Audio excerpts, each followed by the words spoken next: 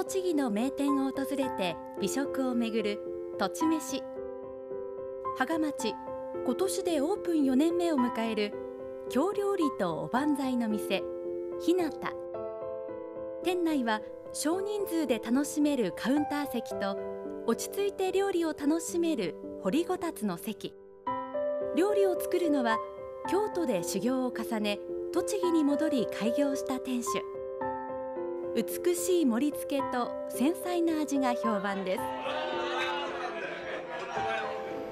栃木にいながら本格的な京料理を気軽に楽しめるお店です。京都で修行してた時のルートを使って食材などを京都から取り寄せたりとかこの辺じゃなかなか食べられないお料理を食べさせていただけるっていうお客様も結構はい。中でも評判なのが店主こだわりのサバ寿司。作ってもらいました。京都から取り寄せた名店の米酢。この米酢を使うことで本格的なしめ鯖の味に仕上がるそうです。米酢につけ1日寝かせたしめ鯖。この上に酢飯を乗せて巻いていきます。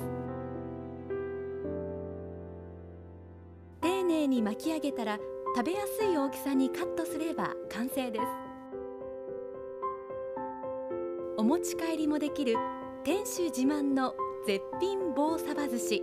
サバ自体しっかりあの塩味がついてましてそれにちょっと甘めの寿司ご飯を合わせて作ってるので何もつけずに美味しく召し上がっていただけると。栃木で楽しめる本格的なサバ寿司一度召し上がってみてはいかがでしょうか？